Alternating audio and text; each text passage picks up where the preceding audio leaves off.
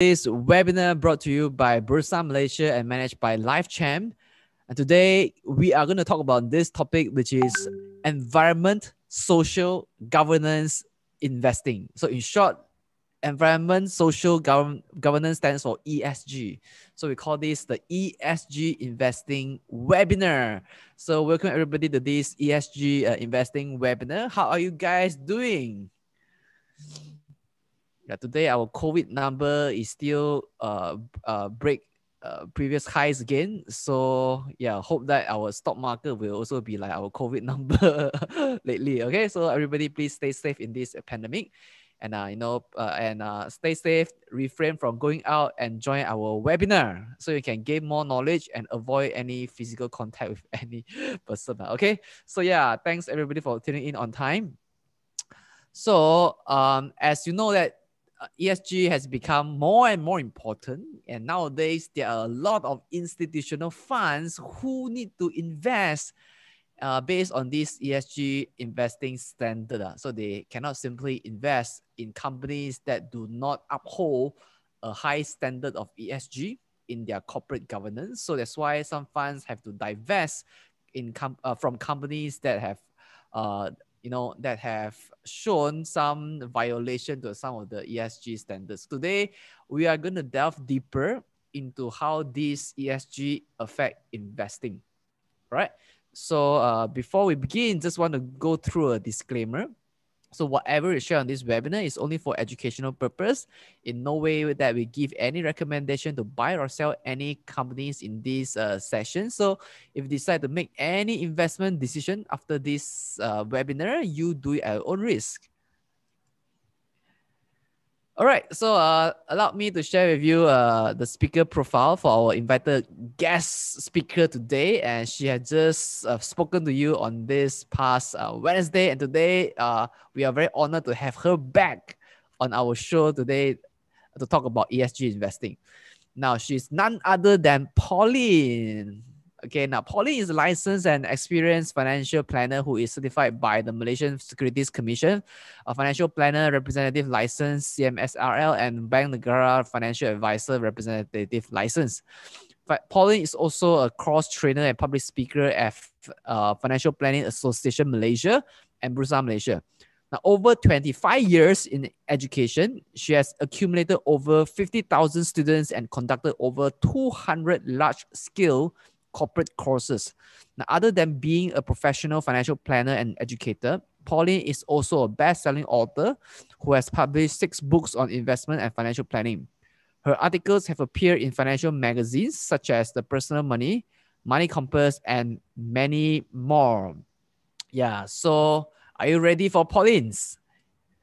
All right, so without further ado, let me hand over the session to Pauline. Pauline, the stage is yours now. Okay, sure.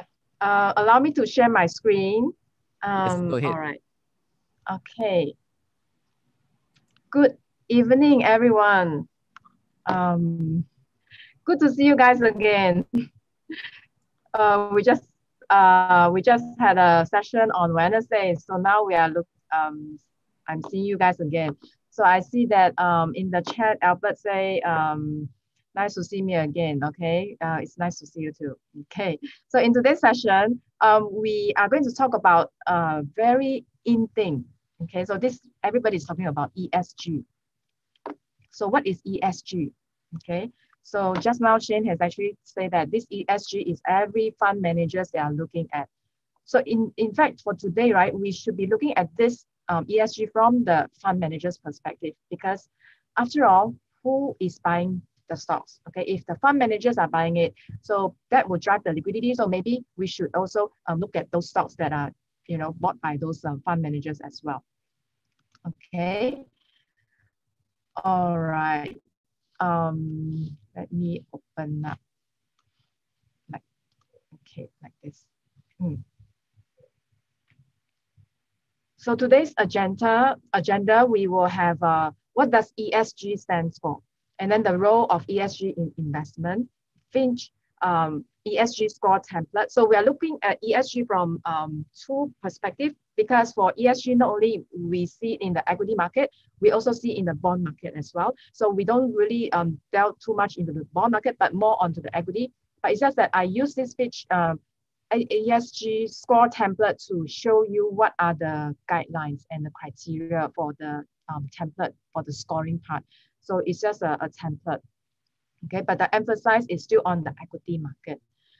Um, and then we, we are going to assess the ESG scores for the Bursa Malaysia stock. So at the end of the session, right, about maybe towards the end of it, um, we are going to, I'm going to show you some of the Bursa Malaysia stocks, and then you are going to guess what is their score. Okay, so these scores are actually from a reputable um, scoring um, website and um, Sustainalytics com. And we are going to i'm going to test you guys um like based on your judgment what's the score that you will give these um, stocks okay? So i'm going to go through one by one and then uh, hopefully when you gain your knowledge you are you'll be able to um, estimate the score. Because after all when you look into the company right um, you wouldn't be able to get the scores immediately so you must be able to assess each company like uh, what is the potential score, like ESG score for each individual company. So we are going to look into that. Okay, some history and background. ESG, environmental, social, and governance investing started all the way back in 2004 by uh, Kofi Annan. So he's a former UN Secretary General Kofi Annan. So Annan wrote to over 50 CEOs of major financial institutions inviting them to partake in a joint initiative to integrate ESG into capital markets within the framework of the UN Global Compact. So he actually came up with this idea and then he personally wrote to 50 CEOs of major financial institutions. So um, it's an effort and then this effort took off. So um, the importance of ESG. Since then, ESG investing has grown in importance worldwide with increased awareness and adoption rates. According to Deloitte, the percentage of retail and institutional investors that apply ESG principles to at least a quarter of their portfolios jumped from 48% in 2004, um, 2017 to 75% in 2019. Furthermore, a um, 2018 US Trust Wealth and Worth survey concluded new investments in ESG funds could total 20 trillion in the next two decades. So the market for ESG is huge. Okay, so everybody is looking into um, ESG investing, and then um, if the fund managers are participating, so that will drive the liquidity. So what is ESG investing? So basically, the word E stands for environmental.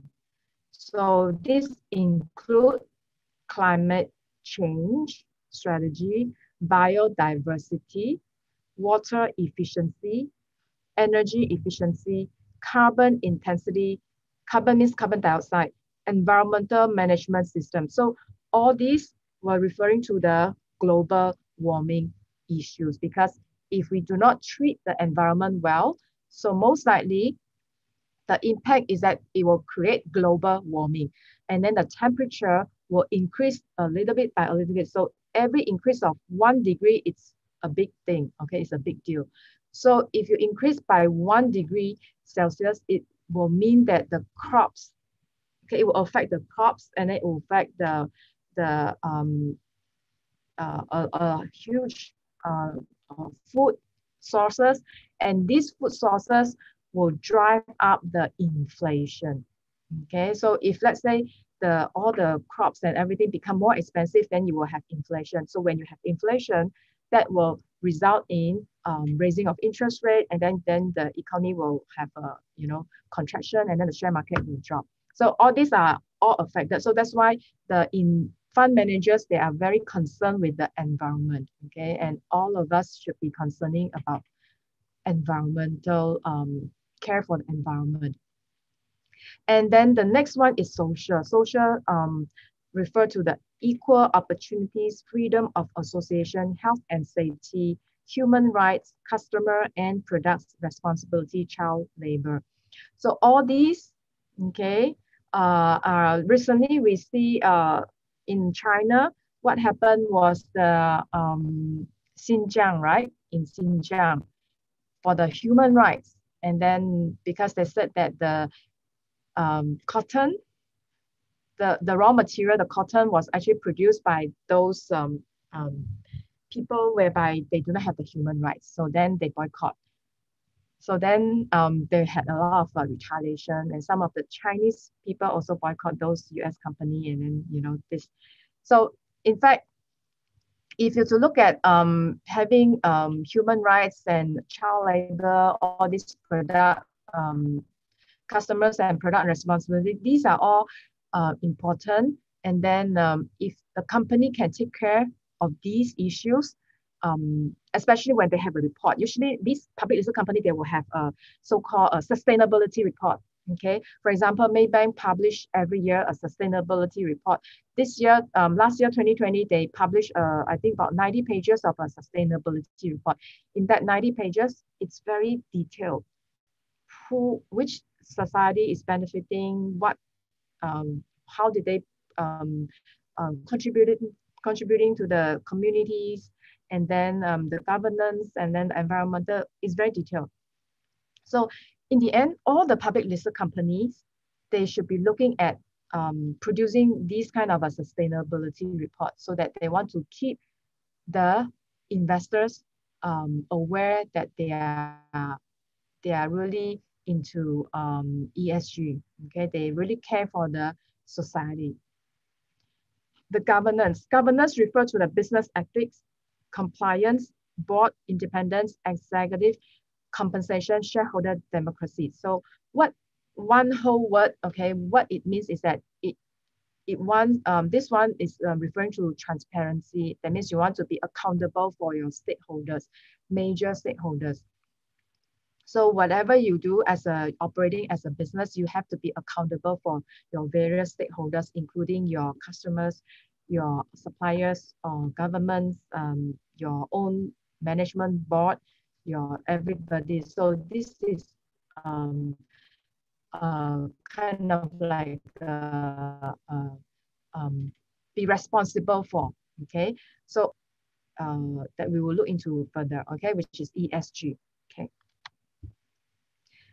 So the philosophy behind the ESG criteria is to recognize the effect companies have on the environment and the society as a whole, and in turn, how their ESG policies can impact their own resilience and profitability. Uh, a lot of time, um, you may think that, oh, ESG, that means that you cannot make money already, is it? Because you have to um, take care of the um, human rights, you cannot ill treat them, you have to pay accordingly, and then you have to take care of the environment, you have to take care of the packaging. It cannot be too too um, damaging to the environment. So you have to spend some money on the packaging.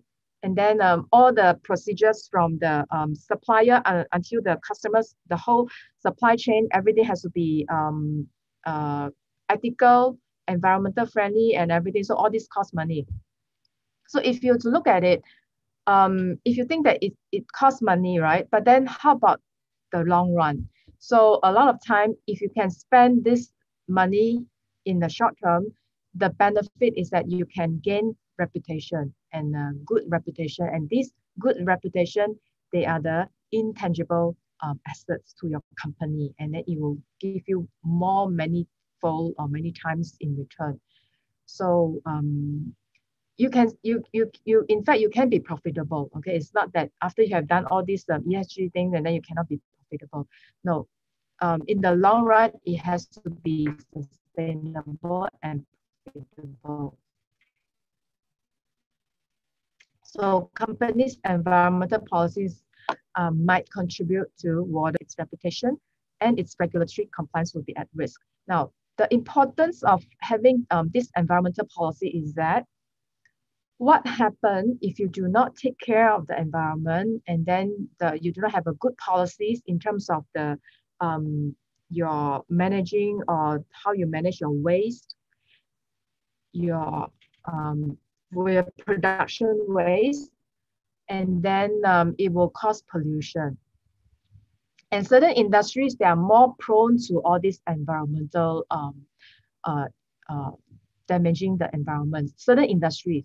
So later on, we'll look into those companies. So does that mean that that's the end of these companies? No, that doesn't mean that. So when you know that you're operating in such a harsh environment whereby you are actually not doing the environment any good, but doesn't mean that you'll be, you know, chopped a mark saying that you'll be dead forever. No, you can do something. So a lot of these um, oil and gas companies, right, they turn to renewable energy.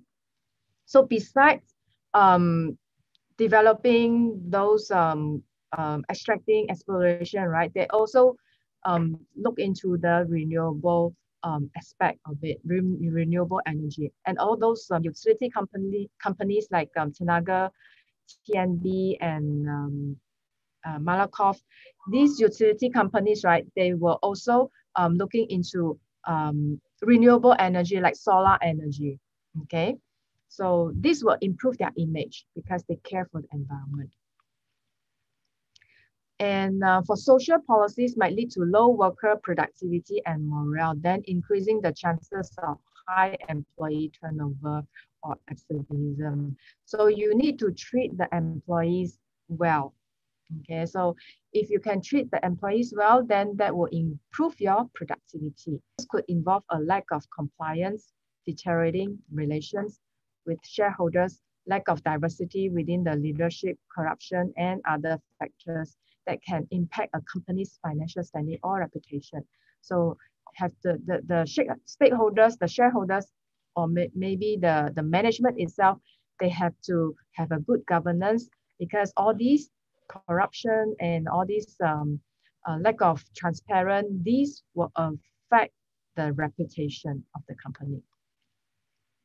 So of course, ESG principles are just one of many indicators invest investors will take into account in their decision-making process. So after all, um, there are so many factors, right? So ESG is just one aspect of it, okay? You, it, you cannot rely totally on ESG. However, it, it, it is a, uh, the hottest theme in the world now. So everybody is talking about it. So um, if you are not aware of, that means you are not in the trend. You're not in the um, team, okay, investing team. Now, this one is the Malaysia pledge to the environment. Because as a oil producing country and also a resource, um, we are full of natural resources. So we we were susceptible to all these, um, you know, that cause damaging to the environment. So that's why we need to have a pledge. So Malaysia promised to part participate in global efforts to address climate change even before the Paris Agreement was signed in 2009. So like 10 years ago at the United Nations um, Framework Con Convention on Climate Change meeting in Copenhagen, former Malaysian Prime Minister Najib Razak announced that Malaysia would pursue a 40% reduction in its carbon emission intensity by 2020, contingent on adequate technology transfer and financing from the developed world. So back in 2009, we already pledged that we want to reduce the um, carbon emission by 40%. Okay, although the additional financing and technology were not forthcoming, Malaysia was able to achieve a carbon emissions intensity reduction of 33% by 2011 and is likely to meet this goal. Okay. So um, Malaysia's latest commitment is that reflected in the nationally determined contribution is called NDC to the Paris Agreement is to reduce its emissions intensity by 45% by 2030, with 10% of this goal contingent upon international assistance. Okay, so we have even pledged 45% of reduction by 2030. So all these are our dioxide. Okay. Now there's this index. Not many of us know about it. I didn't know about it until I do research. So I, um, it's in fact has been there for many years. So this is called the FTSE for Good Bursa Malaysia Index, FTSE. Now, FTSE for Good, right, um, is actually, um, okay, let me explain this. FTSE for Good Bursa Malaysia Index is a is actually constituents that selected from the constituents of the FTSE Bursa Malaysia uh, EMAS uh, mass index of the 100 um, companies screened in accordance with the transparent and defined environmental, social, and governance. So what it means is that this index, right, it has a basket of uh, stocks. And this basket of stocks are from the our EMAS index, 100 of them we selected and then put in. Of course, it has to screen through uh, those um, like uh, um, criteria. You have to screen through the criteria. So the companies in the Bursa Malaysia EMAS universe with an ESG score exceeding a defined thresh, um, threshold are eligible for inclusion in the FTSE for, for Good Bursa Malaysia index. So you need to um, have a certain score then you can be included in the um, this um, index. Now, so the main objective of this index is that by having this index, right, you are actually encouraging those companies that are not in the in the rank, they wanted to be in the group. So they have to do extra effort in order to um, get into this rank. Okay, so um, this is a good index whereby um, it actually motivate the Malaysian companies to um, achieve certain target of the ESG score so that they can be included in this index. Okay, so there are currently 75 companies in this index. So later we'll look into that. So FTSE for Good Bursa Malaysia Index have all these um, 14 criteria. Okay, so let's take a look basically you have these three main theme, which is environmental, social, and governance. And out of the environmental, you have the biodiversity, climate change, pollution, resources, water security, supply chain, environment. Now, supply chain environment. Um, maybe I should ask you this question. You look at this environment, okay, supply chain. So you are looking at your when you are doing a, a operation, a business activity, right? So you need to get raw material from your um, supplier. Okay, so that's supply chain. Now, how would that impact the environment and which which um, industry are more susceptible to this kind of uh, risk? Okay, so all these are all risk. Okay, all these are all risk. So which industry are more prone to this risk? That means your supply chain environmental risk. That means it will involve pollution. Okay, which industry? Anybody? Timber, oil and gas. Mm. These are all natural resources, right? Okay, one more industry, one more. I just want to see one more. Okay. Where's my chat? Come I can't see the chat?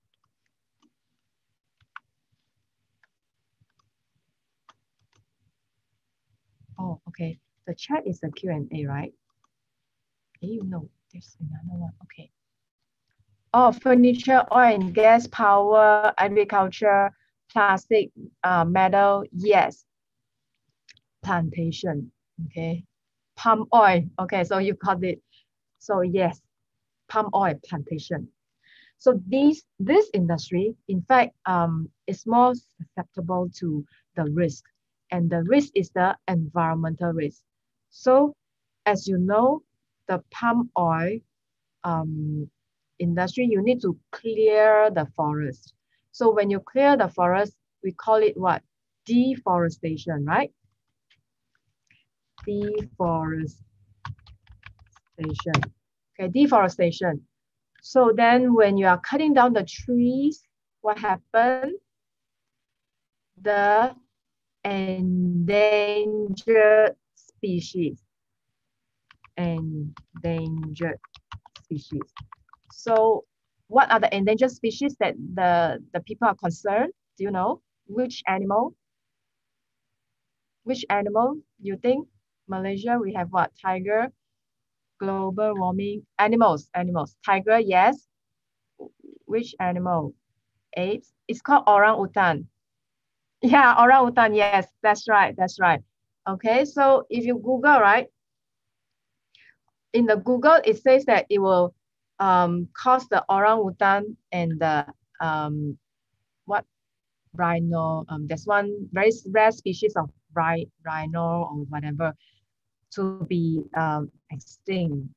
Okay, so so um, people are concerned with these animals. So therefore, um, the EU, okay, they ban the Malaysian palm oil.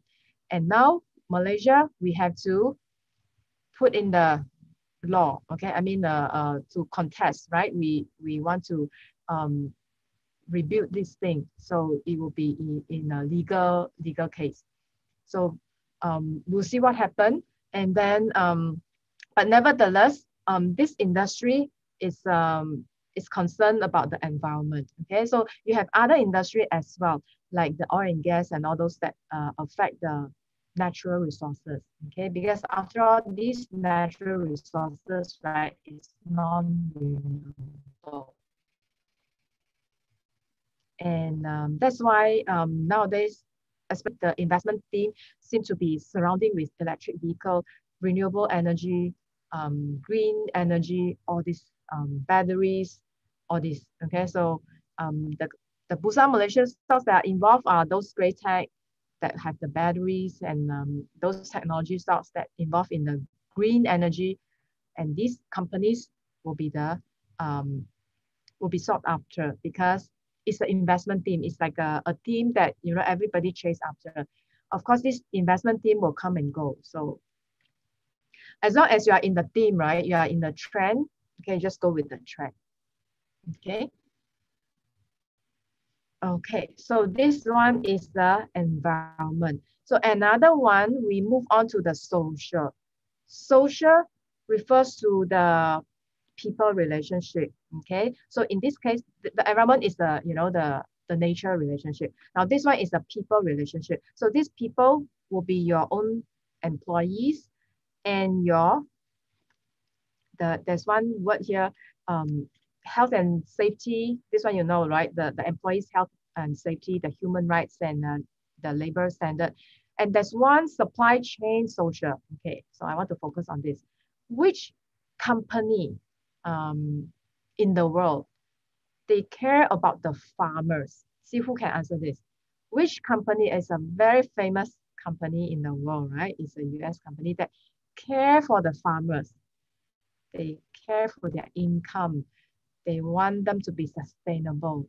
They help them, they train their the farmers skills and then they help them to um, uh, increase product. Yes, a, um, uh, Aslan, yeah, right, Starbucks. I was thinking, do, do, do, do we get any answer? Okay, so Aslan, you're right, it's a Starbucks. Okay, so they are famous for what they are doing for the farmers. They care for their livelihood.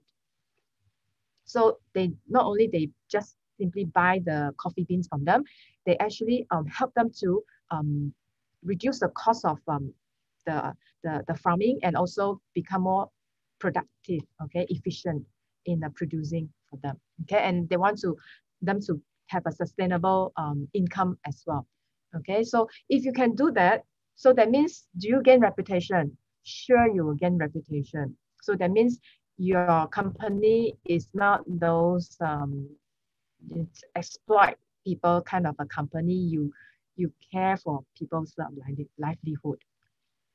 Okay, then um, the corporate governance. So this one look at risk management.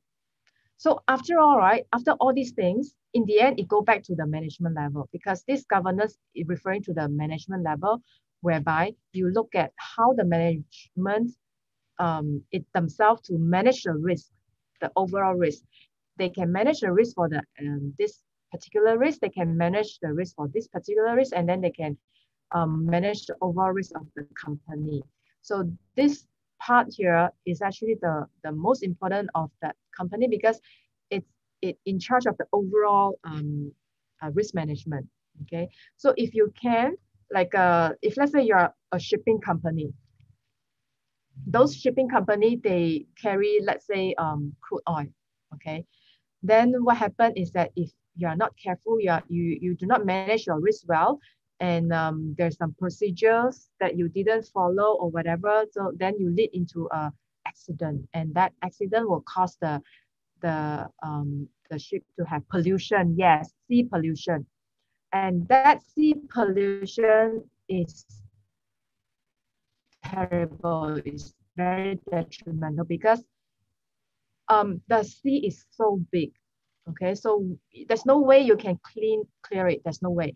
You just have to let it seep through, and then it will be spreading out permanently in the overall sea. Okay, so you can't you can't take it out. So that, that sea pollution is the most damaging to the lives, to the wildlife, and also to the environment. So if you are operating in that kind of a business operation, then you need to have a very good governance in terms of your procedure, your SOP, and everything such that you want to cut down the, minimize the risk, okay? Okay, now this um, FTSE for good, you can scan the QR code and then you can get this report. This report is the latest report, which is March 31st, 2021. So it tells you um, our Bursa Malaysia um, uh, companies, stocks, public listed companies that are in this index. Okay, so you can scan this and can and then you can you can actually um, get this report. So I'm going to show you this report. um, is it this one? This one? This one? Ah, this one. Yeah. Okay, so this is the one. It's called the FTSE for Good Bursa Malaysia Index 31st March 2021. So it's a three-page kind of a report. So it has this information. So I have already um, print screen and then we uh, we go through them. Okay, I have print screen them.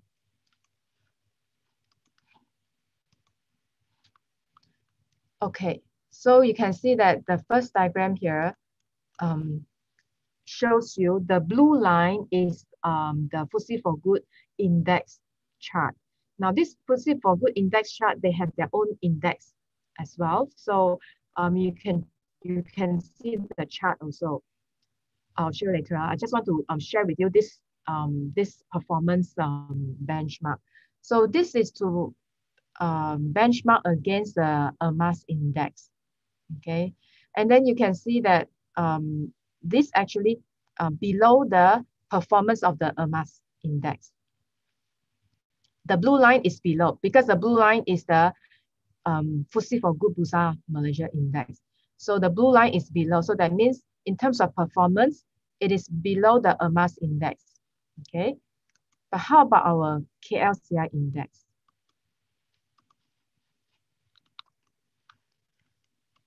So um, from the Bloomberg, I can actually get this FTSE for Good Bursa chart.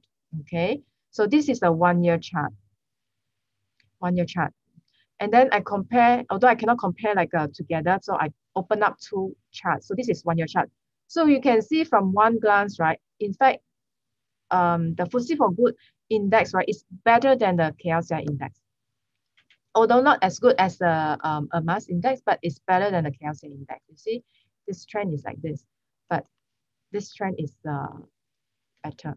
Okay, so um, there's advantage in investing in this kind of uh, um, ESG related stocks. There are advantage.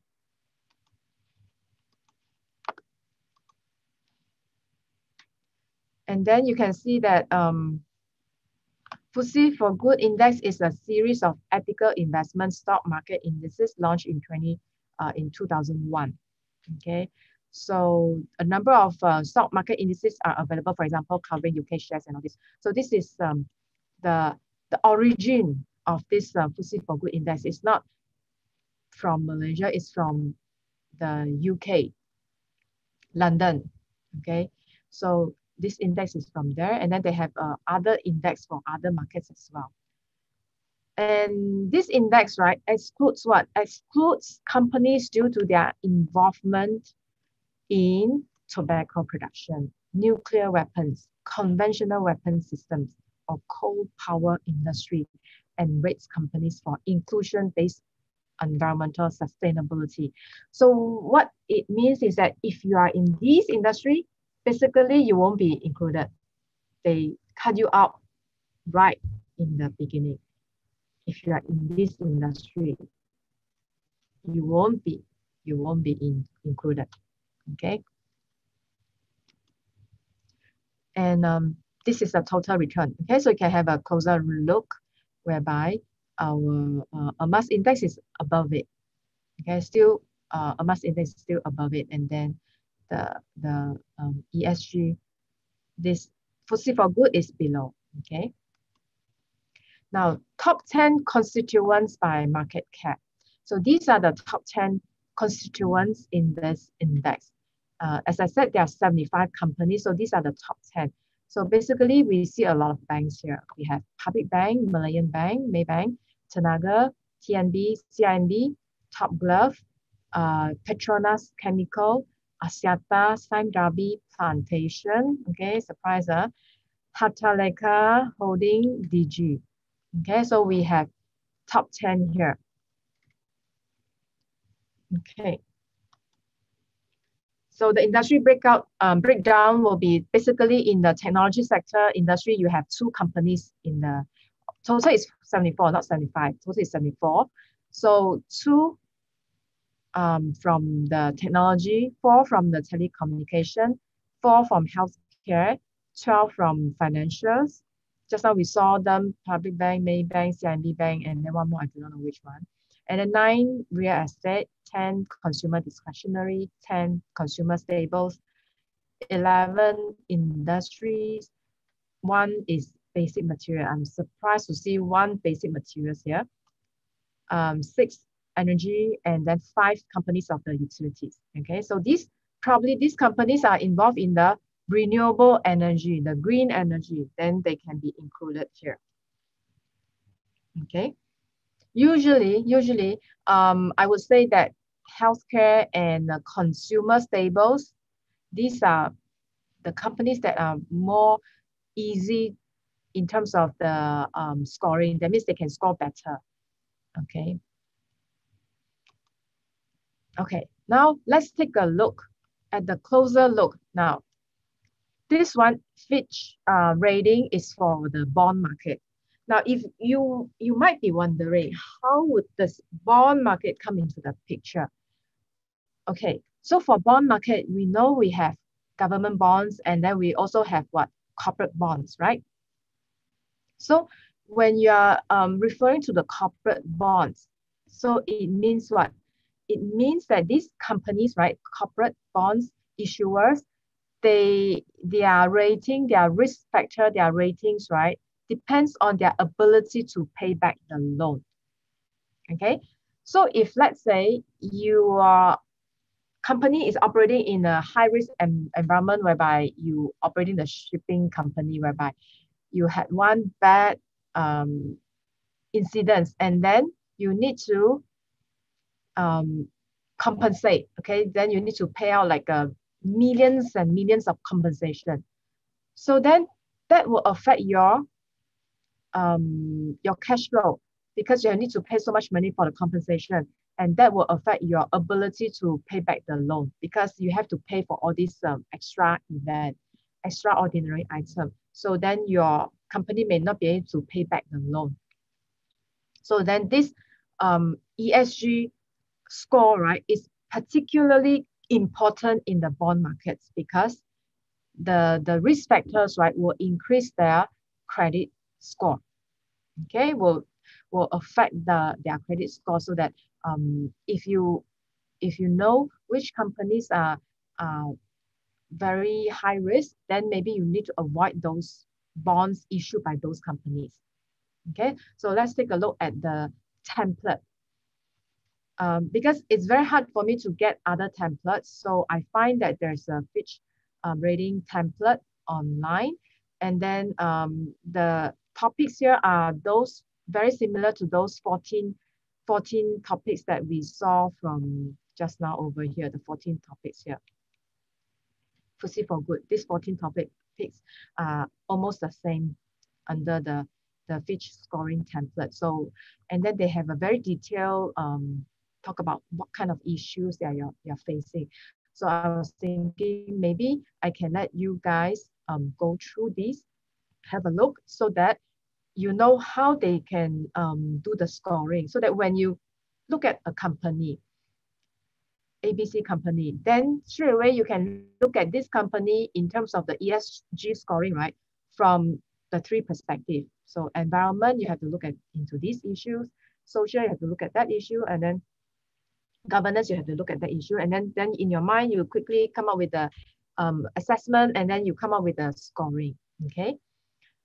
Okay, so um, for environment, right, you are looking for this emission and air quality. So this one refer to the emission. So it's something like a waste emission. Okay, so what kind of industry? What kind of industry will involve in this risk? You type in the chat there. What kind of industry will involve in this risk? This environmental risk as in the um, emission, the waste material, oil and gas, coal mining, and some manufacturing, metal, and also some manufacturing as well. Okay, some of the manufacturing companies. And um, energy, so this energy usually refers to the renewable energy, transportation, yes. Okay, transportation, the shipping, right? Yeah, logistic, shipping. So the water use, water waste management. Okay, so this water waste management, um, referring to um, their, their waste as well. Because sometimes um, you, you need to dispose of your waste. Water treatment plant, yes. Uh, the water treatment plant is to counter the problem. But the thing is that some companies, right, they want to dispose their waste. Maybe they will dispose of in the river or you know the sea or something. So those are causing pollution. So it's how they um, manage their their waste? Okay so is it have a proper water treatment plant? Overbuilding by developer. Mm. glove factories palm oil mills uh, Lynas. Okay so all these are actually um, a lot of waste. But for the glove factory i don't think they have a lot of waste. Um, the palm oil nowadays they are looking at um, using the waste product from the palm oil um, kernel or something. What is it? Okay. Anyway, it's a waste product from the palm oil, and then they put it and turn into a renewable um, source of energy. It's called is it called bio bio ah biomass? Yes, Yanwun. Yes, biomass. Okay. So so therefore, you see some of the plantation companies, right? They were on that good for um, uh, the, the, the index, okay? Which is uh, because they are doing this uh, renewable energy that is caring for the environment. So this will add them some marks. Although you, you originally you started with a very biodiesel. Ah, biodiesel. Yeah, I think biodiesel. Mm, I forgot whether it's biomass or biodiesel. It's one of those. Okay. So the term is, is either one of those. So then you can actually um, have some scoring that score you some marks there, okay? And um, expo explosion, exposure to the environmental impact. Okay, then you have the social. Social will be the human rights, community relations, and then you have the customer welfare. Now you see uh, privacy and data security. Okay, which industry are more, um, you will lose mark on this. Data security and privacy. Which industry will lose mark on this? You can give me some US companies as well, okay? Any companies, I just want to know if you know what are the risks involved. Ah, social media, very good. IT, Facebook, very, very good. All right. Yes, you got it. Yes. So all these um, IT company, Google, Amazon, Okay, so all these because they have all the all our information. And can you imagine if the information is being leaked out? Then um, they will definitely have uh you they have the must have a compensation. If let's say there's money involved that lose lose the money okay? So all right that's good. That means you know. And what is line? Line is a phone is it? It's a kind of app for the phone okay? It's a phone app okay? Labor relations and practices and then employee well-being and exposure to social impact. So basically you need to care for the workers, you need to care for the, um, the less advantaged um, society. So I see that um, many public listed companies, they when they publish their sustainability um, report, or even they do not publish sustainability report, but then they put it under the annual reports, okay? There will be some CSR effort, okay, social, um, corporate social responsibility, some CSR effort. But nowadays, CSR effort is not enough. So we are looking at the ESG now. Okay. Yeah. Mm, okay. I see the word Nestle there. Okay, later we'll come into Nestle. I will, I will, I will ask you, what do you predict the score, the ESG score for Nestle?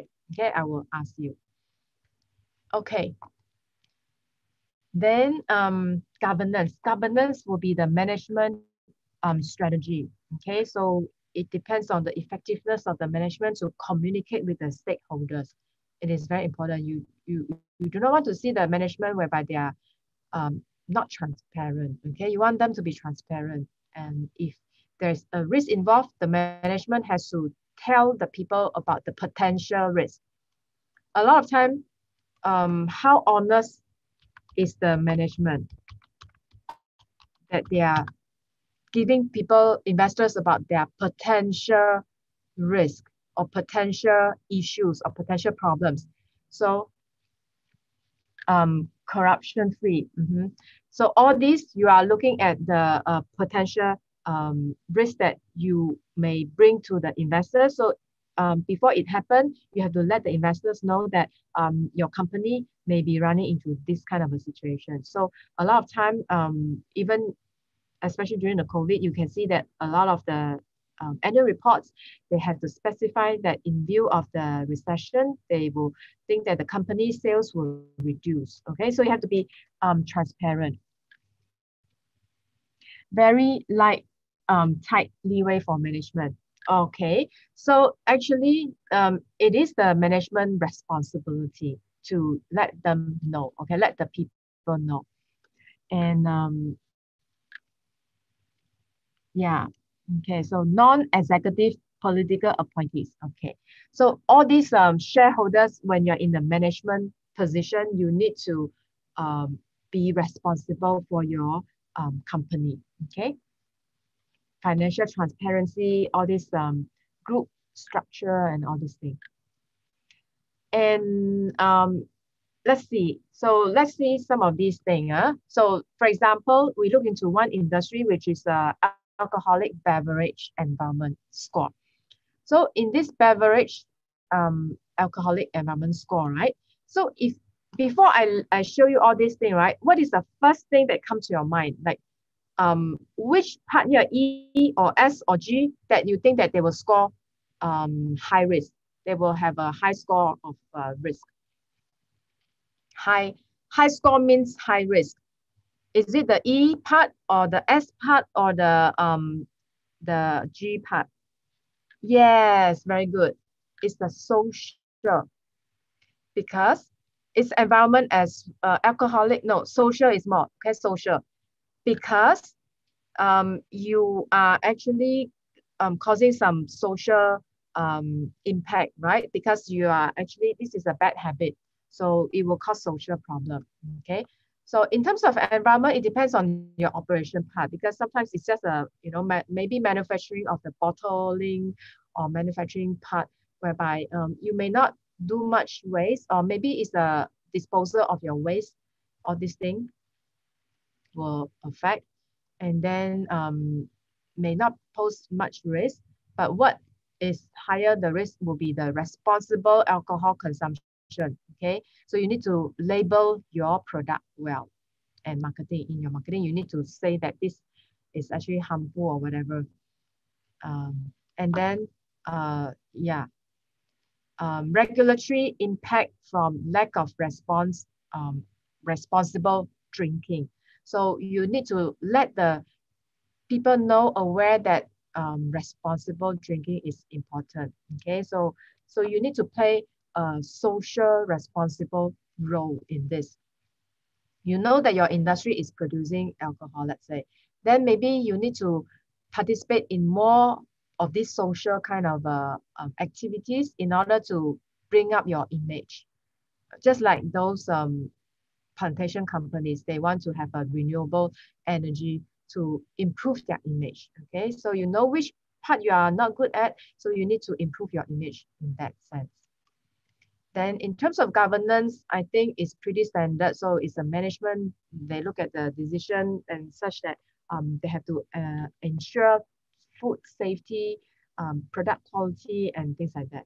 Okay, you see the quality and timing uh, of the financial disclosure as well, and also the product quality of their um, production as well. Okay. Okay, utility industry. So when you look at this utility industry, right, which one that comes to your mind that will give you some high risk?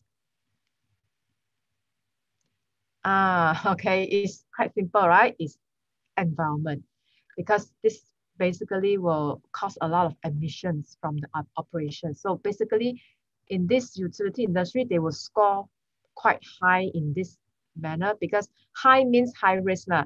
They will score high. Okay, doesn't mean that you have score high means good. That means you score high means high risk. Okay. So uh, impact of the waste from the operation and things like that.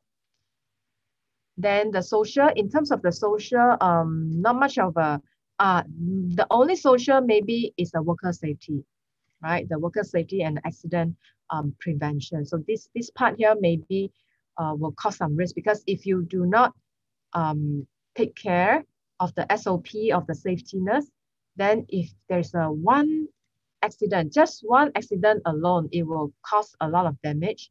And especially if that cost lies, then uh, huge compensation will be, you know, will be under the, the whole thing. So you need to compensate a lot. So all these are the risks. Okay. And then you have the governance. The governance are mostly for the reporting, financial reporting, disclosure, and then um, the management and things like that. Okay. Okay. How about the banking industry? if you look into the banking industry, right, which which ah okay, so fast. Okay, Patrick, yeah, very fast. Okay, yes. Um, Jin Jin, yes. Okay, it's the G, is the governance. And a lot of time, um, but luckily our um, governance is very powerful from the central bank side. Bank Negara is a the major um, governance body that govern all the um, banking industry so that um, every every bank they will because after all we came from the financial crisis so when you came from a financial crisis right um, all the um, procedures and all the resources and effort will be taken into for this industry and then they want to improve the standards so um, after this financial crisis right all the banking industry become uh, in the sense that the governance is higher standard. Okay, it's not so easily you, you will not see another financial crisis so easily because of the the precaution that, that taken by our central bank. So, um, okay, social work. Okay, in terms of the as social work, right? In fact, they score pretty well because they do a lot of uh, social CSR for the banking industry. Okay, so they they do well in that uh, in the sense they care for the community. The only thing, um, the high risk one will be this um, governance because if you are not careful, um, you may ah social work. Okay, another thing, privacy and data security. How about it, right? because for the banking industry, right, they have all our data information. So if let's say whoever stolen or there's a um, data is stolen and then that will lead to fraud or whatever or um, scam or whatever. Okay, so all this will be under the social. And for the compliance will be under the governance. Okay, compliance. So there's a lot of compliance in, in one layer and one layer. So um, it's not easy now in order to have the staff um, stealing from the bank. Okay, last time maybe it's easier, but now it's not so easy anymore. Okay, so then you have, um, in terms of the environment, I don't think we have much to say. You see, NA, NA, NA. So probably you don't score high risk here, and then probably you score some risk over here because of the data thing. And then over here, um, some governance. If let's say your bank is a small bank that lack of governance or whatever, and then you approve the loan, simply approve or whatever, then um, you will score high in the sense of the risk, okay? Okay, so um, now let's see uh, which industry is uh, ESG friendly, okay?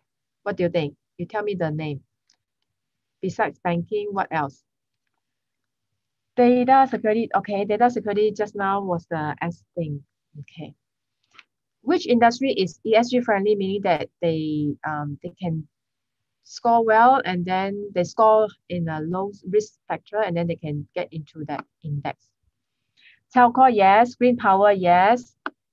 Um, electric car, yes. Very good. Okay, I have all this here. Um, what else?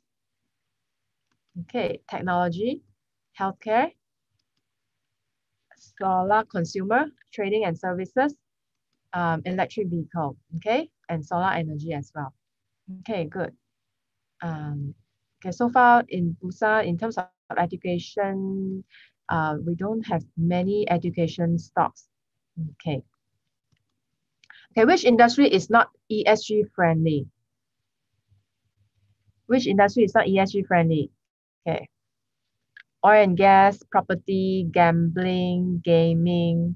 Okay, good. Tobacco. Okay, oil and gas, number one, utility, chemical, construction, yes. Mining, steel, mining, tobacco. Yeah, these, right? Commodities, plantation, excuse me, plantation. But I do not have, I didn't write that plantation. Okay, very good. It seems that you guys are doing very well. Okay. Now, then we come to the quiz part here. Okay, I have 10 stock here for you to guess what is their score. Okay, let me show you the first one first so that you know what to expect. So basically, this is a sustainalytics.com. Okay, and uh, this one is a quite a, a reputable um, website whereby it has all over the world stocks in it, and they rank them according to the um, ESG risk rating. So if you have uh, uh, zero to 10 points is negligible, that means low risk. And then 10 to 20 point is low risk. 20 to 30 is uh, medium risk. 30 to 40 is high risk. And then above 40 is severe risk. Okay, so you, you will have this kind of a rating. So in this case, you, it has a uh, 1,000 over, this, this thing is um, the worldwide banks, you know, worldwide banks. So um, you are looking at this comparison worldwide. And um, so for Maybank, it's 27.2. It's considered a medium risk. Okay, so actually you can um, see this. Okay, wait now, I show you that website first. So this one is actually this com this um, website. I, I give you this.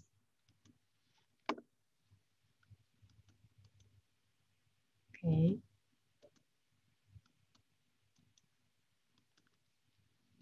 Okay, I give you this link and then you can click in it. What about, um, I can't see this. Mm. Uh, Hong Leong Bank, public, all the banks are about the same as public bank, uh, as a Maybank. The banking industry are more or less the same. Okay. You can, you can type here, okay? public bank.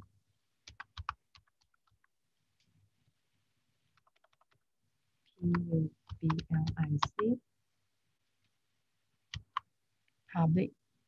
Sometimes uh, it didn't show, then maybe it doesn't have, okay? So public bank doesn't have. Bank. Bad broken. Okay, never mind. So you try yourself, okay? You see. Okay, then are you ready for the quiz? So it's a score between 0 to, um, I think, 40 and above lah, okay? 0 to 40 and above. So PP Bank. Oh, okay. So you you you managed to search, is it? PP P my line is broken. Maybe I need to refresh.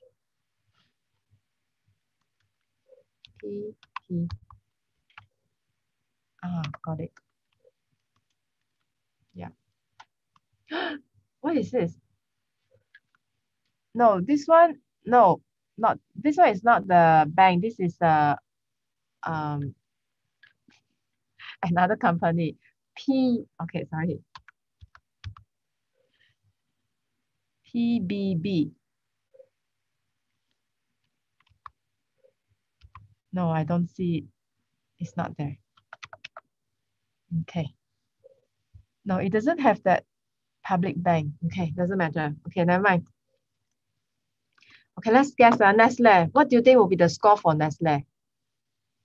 You, you just type a number, 0 to 40 and above. Uh, maybe 0 to 50. Lah. You just type a number.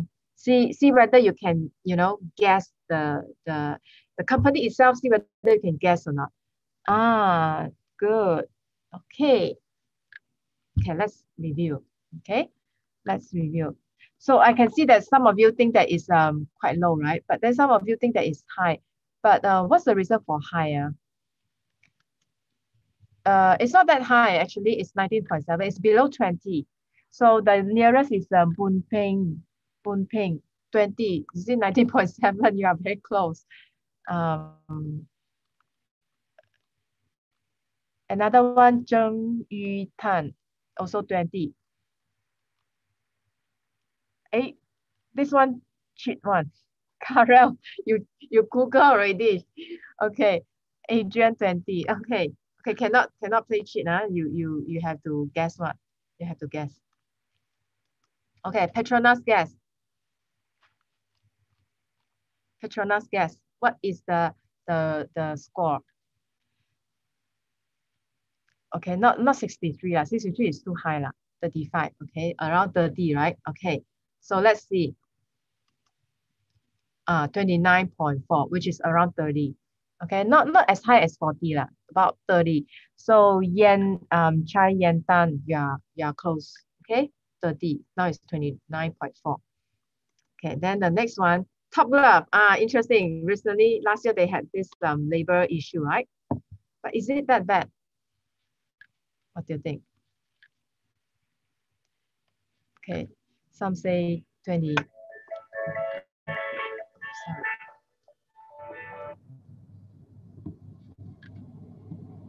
Okay, some say it's um, 30, 25, 25. Okay, let's review. 26. Okay, so the 25, Mary, you are close. Lily, you are close. Um, Sing Ho, you are close. Okay. Mm. no, tomorrow can buy numbers. Uh, no lah. This this three numbers how to buy also cannot buy. Okay. So 26.1 is not that bad. It's medium risk, you know, lower than the public bank, um, lower than the main bank. So you'll be you'll be surprised. Okay. Then Hartalega. The reason why I want to compare is because Hartalega doesn't have any bad news on the human labor thing. Top Glove had, had some news, okay? So by right, it should be higher or lower. Okay, it should be lower, right? Yeah. So I see that you guys, um, some of you say below 20, yeah? uh, around 1920, I see most of the answer. Okay, 17.4, you, you are close. Okay, so those um that have the 18 one, you are very close.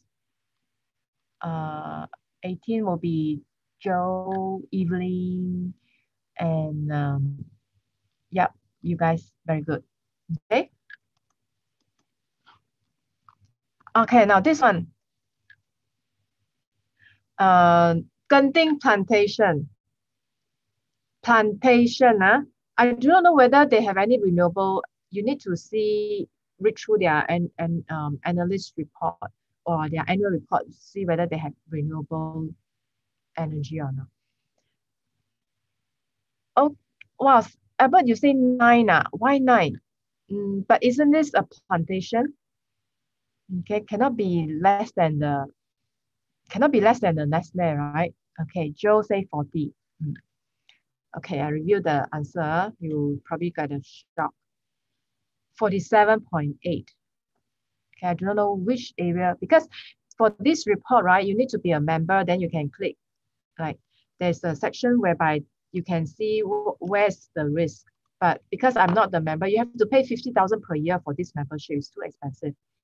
So this over here, right, they will show you um, what are the top ESG issue, you see? Then you can view. Of course, you have to pay lah for the subscription. Then you can see the top ESG issue for that particular company. So, so I, I do not have. So this one is another plantation company. Okay. Okay, so just now I saw 40. Somebody say 40. Mm, okay. So the uh, Joe, Joe, you are very close, right? Joanne, Joanne, you are very close. Okay. How about Sime Darby plantations? See, I want to show you like um two plantations, just like two glove stock, and then um not necessarily all are bad because some can be better. Okay. Uh, th this one should be better than that Genting plantation, right? Because I, I believe they have some renewable um, effort also. Okay, so I can see that you have uh, 30, 26, and um, okay, let's see. 34, okay, anybody say 35? 32, ah, Chin Chin, you are close, 32. And um, 35, ah, Yen, Chai Yen, you are close, 35. Tony also close. And then um, Yao Sim Ken, Ken also close. Muhammad Eddie also close. Adrian also close. Eng Sing Ho also close. Ah, very good. Okay. Muhammad Eddie, yeah, Muhammad Eddie also very close. Mm, Sing Ho also very close. Very good. Okay. So that means you can kind of like estimate the score. Okay. How about BAT? Now this one, uh, I don't know whether it's straightforward or not straightforward, but okay. So some say 50, 35, 40, um, 60 is too high, 35, 40. Okay, let's see. Yeah. 15, oh, uh, some say 15. Uh, okay. Mm, 29, some say 29, Did say 20. Okay and uh, actually it's not that it's medium risk you know it's not that maybe they do a lot of uh, good work uh, i mean uh, social corporate responsibility. So 27.8 is actually medium. So i see that um muhammad adi you are close and then um Hoi, Chuan Hoi, you are close. And then um who else? Those around the 30 region will be close Mm. And then Yan um Chuan Hoi, okay. Quite good. Uh, some of you are quite good. You you are able to um, estimate quite um accurate for quite a number of stocks. Mm. Smoke. okay. Okay, how about Astro? Astro, media, Astro, what do you think? What, what could be the um, score? Uh, I see that score started to come down. Okay, 20, 13, 15. So that means you, you can actually estimate uh, looking at the, the stock itself. 18, 20, okay, very good. 19, okay, let's see. Uh, 16 is the lowest among these stocks. Okay, so I can see that just now somebody said 15. Uh, okay, Chi Hong Tan, you are close.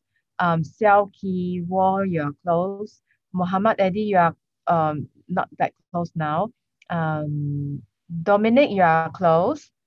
Um, Lee Seng Guan, you are close. And Kenny Tan, you are uh, not that close. Um, Boon Peng, you are close. Dominic, okay, very good. Okay, so you guys are actually getting the, the hang of it. You can check public bank by key in 1295. Oh, 1295. Okay, let's see public bank. Uh. Okay. 1295. Ah, you are right. Oh, can key in the stock code. Okay, smart. So the risk is higher than the Maybank. So that means Hong Leong Bank also can key in the stock code. Okay. So um, public bank is higher than Maybank. Okay. But I don't know what is the Hong Leong Bank's stock code. So if you key in, you can also see, it's interesting to see among the banks, right, which banks are of a higher um, ESG risk. 5819. Okay. 5819. Ah, got it. Oh, this is lower, lower than the Maybank. Okay. Yeah, lower than the Maybank. That's good. Wow, well done. Okay, let's go back. Gamuda, construction. What do you think? Gamuda 25, 35, 40, 30, 30, 30. Mm, I see a lot of 30. Okay, let's see. Who say 40? You are very close. Just now, somebody say 40. Um, where are you? Ah, Lily, you are very close. Then who else? Okay, we only have 140, which is Lily. Okay, well done. Okay, somebody say something. Maybe you can group all the companies in the same industry and see average. Hmm, that will take a lot of time. If you have the time, you can do it. Because some uh, Chin is saying that we can group all the companies in the same industry and then we can see their score. Of course, if you have the time, you just have to do it. Okay, good. Okay, well done. So we have all the 10 quizzes. Now we'll continue the last part. Okay, so using the ESG rating in the practice. So in the practice, right, um, what are the usage of this ESG? So the ratings can be used as the building blocks for integrating ESG into investments in variety of ways, including active portfolio management, benchmark construction, and company engagement. So not necessarily is a portfolio management. You can even have it like company engagement like if you want to do business with a certain company, maybe it can be a company engagement, not necessarily has to be uh, investor relation. And then um, portfolio evaluation and manager due diligence. So basically in practice, you can um, use this as a portfolio evaluation and manager due diligence. So in fact, um, it is part of the portfolio evaluation. Okay, um, many many funds now um, they are practicing um, ESG. And some funds, they even take out the that industry that are of high risk because um, rather than you know putting in your, into your portfolio, right, the risk itself um, is too high. So that means they want to take it out. So certain industries. And um, the engagement and the stewardship. Okay, so and also because of the governance, Okay, so in, in the sense that you want to see that which company um, is uh, good management. So usually those low low score ones are the good management company as well. Okay, like we saw just now, Hong Leong Bank, right? Mm. Okay. Then the risk management, the ESG rating enable investors to identify companies with the greatest ESG exposure and can you can be used alongside conventional risk manager to provide a complementary perspective. So it's a form of a risk management. So you can see that those with the 40 and above, right?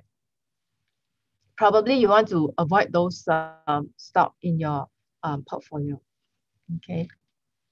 Then research and analyst. Okay, this the risk and return relationship of different ESG aspect will vary. So the ESG ratings provide a granular and comprehensive data set for research and analysis. So in fact, um, for all the research team, right, they will have to have this ESG rating in their in their normal um, research work.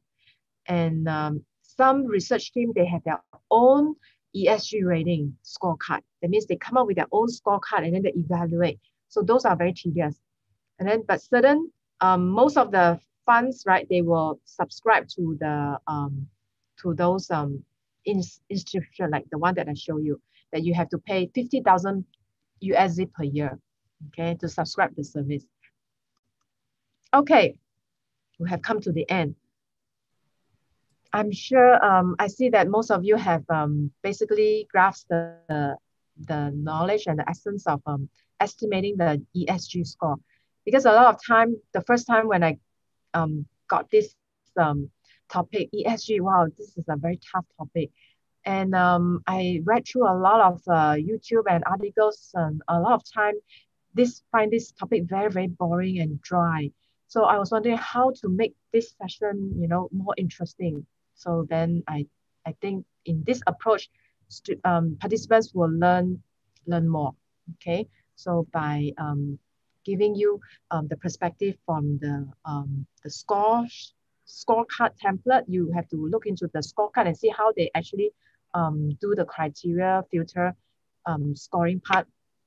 And then also um, the some of the, the the the scoring okay the actual scoring for our Bursa Malaysia stocks okay so um, I conclude here and I pass back to Shane Thank you so much, Pauline, for mm. putting in your best effort to make this as interesting and engaging as you possibly can uh, in this uh, session. So thank you so much, Pauline. So if you have any question for Pauline, you may ask her in the Q&A box, not the chat box. Huh? Ask her in the Q&A box.